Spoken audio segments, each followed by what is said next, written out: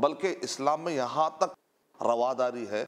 ایک ملک میں الگ الگ ریلیجن کے لوگ رہنے کے اور برداشت کرنے کی جو میں بات کر رہا ہوں دنیاوی اعتبار سے ایک گھر کے اندر کبھی ایسا ہوتا ہے جیسا کہ سورہ لقمان سورہ نمبر اکتیس کے آیت نمبر پندرہ میں اللہ تعالیٰ کے ارشاد فرما رہے ہیں اگر ماں باپ تم کو شرک کرائے تو بیٹوں سے کہا جا رہا ہے کہ تم ماں باپ کی اطاعت مت کرو۔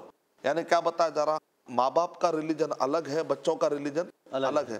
یعنی ایک گھر میں دو ریلیجن والے بھی رہ سکتے ہیں۔ کیا کہہ رہے ہیں؟ فلا تطعہما تم دین کے مسئلے میں جو غلط وہ رستہ بتا رہے اس میں تم اطاعت مت کرو۔ وَصَاحِبْهُمَا فِي الدُّنْيَا معروفہ لیکن دنیاوی معاملات میں تم ان کا احترام کرو ان کی خدمت کرو ان کے ساتھ حسن سلوک کرو اچھا سلوک کرو۔ ہو سکتا ہے تمہارے اچھے سلوک کو دیکھ کر تمہارے ماں باپ اگر شرک اور کفر کے راستے میں جا چکے ہوں ہو سکتا ہے کہ وہ اچھے راستے پر واپس آ جائے۔ تو اس سے کیا پتا چلا؟ ایک گھر میں بھی کبھی دو ڈیفرنس آف اوپینین والے بھی رہ سکتے۔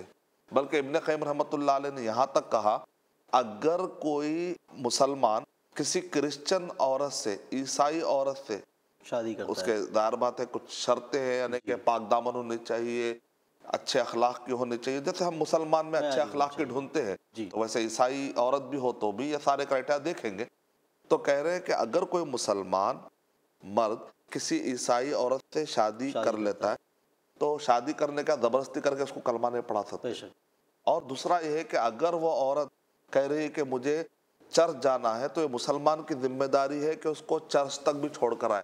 اس کی حفاظت کرے رستے میں ہو سکتا ہے اس کا کوئی ہراس کرے۔ تو یہ مسلمان کی ذمہ داری ہے۔ یعنی کون سا ریلیجن ہے جو اتنے زیادہ رواداری کی بات کرتا ہے؟ کوئی نہیں ہے۔ تو اس کا مطلب ہے کہ اسلام ایک بیلنس تصور دیتا ہے کہ مل جل کر رہ سکتے ہیں لیکن ملنے جلنے کا مطلب یہ نہیں ہے کہ ٹو پلس ٹو فائیو بھی کہہ لیں آپ ٹو پلس ٹو فور بھی کہہ لیں ٹو پلس تھری بھی کہہ لیں نہیں۔